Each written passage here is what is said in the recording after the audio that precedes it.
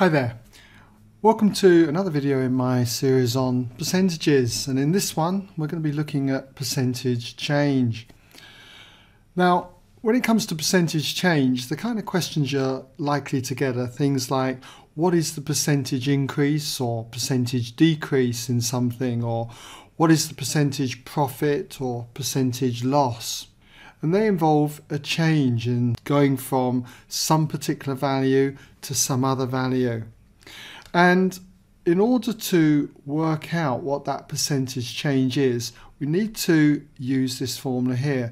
Percentage change is equal to the change that's taken place compared with the original. And th this sets up a fraction, and we need to find out what that fraction is of 100. So I've got three examples here which I'll work through. These are very common kinds of examples that you get, which should demonstrate this kind of concept. Now, in the first one, we've got a magazine last year was sold for 50p, and this year it's sold for 55p. What is the percentage increase? Or we could say percentage gain, because clearly this has gone up in price. So in order to work out what that percentage increase is, using this formula here, let's just put the intro, which would be, say, percentage change. And that percentage change is, in this case, an increase. So we'll say percentage increase.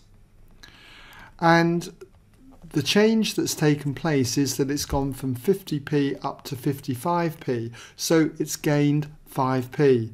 So we just put 5 there and we need to compare this with what it was originally, which is 50 pence. So we've got that fraction then, 5p compared with 50 pence.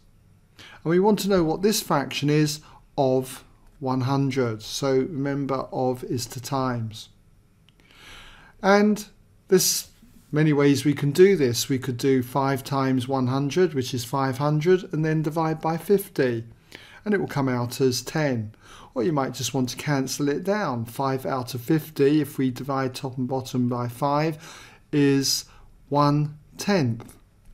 And 1 tenth of 100, or 100 divided by 10, is going to end up equaling 10. 10% in this case. Okay? Now, in this next one, we've got here, due to pollution in a river, the average length of a fish has decreased from 8 centimetres to 6 centimetres. What is the percentage decrease? So, in answer to this, let's just put an intro here. This will be the percentage decrease. And the change that's taken place has been a change going from 8 centimetres, which the fish's length originally was, down to 6 centimetres. So it's a drop in 2 centimetres. So we compare that change to with what the fish were originally. And the length originally was 8 centimetres. So it's 2 compared with 8, 2 eighths. And we want to know what this fraction is of 100. So again, you could do 2 times 100 if you wanted, 200, and divide that by 8. Or you could cancel this one down. Look, 2 into 2 goes once, 2 into 8 goes 4. So when you compare 2 with 8, it's a quarter. And a quarter of 100, or 100 divided by 4, is 25. So that percentage decrease is 25%. Now for the last question here, in a sale, a sofa is reduced from £2,500 to £2,000. What is the percentage reduction? So for an intro for this, we'll just put percentage reduction. And what's that reduction been? Well, it's gone from 2,500 down to £2,000. So it's been reduced by £500. So it's £500 compared with what it was originally, which was 2,500.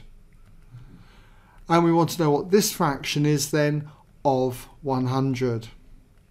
And I can see this one cancels very nicely. 500 will go into 500 once and 500 will go into 2500 five times.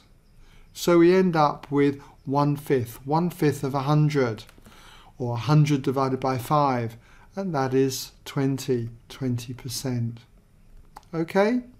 So, thanks for listening, and I hope that's given you some idea of how we go about working out a percentage change.